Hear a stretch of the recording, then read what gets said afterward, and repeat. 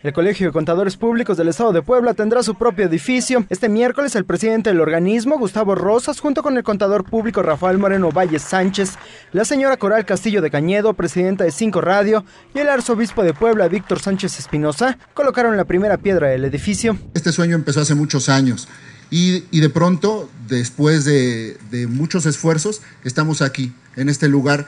Está el sueño, los trabajos, el esfuerzo, eh, la posibilidad de, de la unión conjunta. En esta primera piedra no concretamos un sueño, marcamos el inicio de un nuevo esfuerzo, el inicio de un proceso que sabemos que va a ser difícil, sabemos que va a costarnos mucho trabajo. Será en una superficie de 2.400 metros cuadrados donde se construya la nueva sede del Colegio de Contadores, que por cierto llevará el nombre de Gustavo Rivero Salgado, presidente de la Comisión de Honor de este colegio desde su fundación.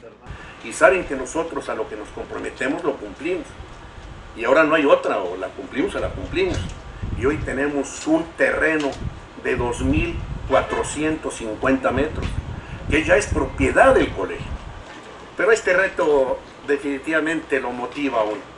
Estamos convencidos de que la unión, el esfuerzo conjunto, nos va a llevar a buen puerto en algún momento.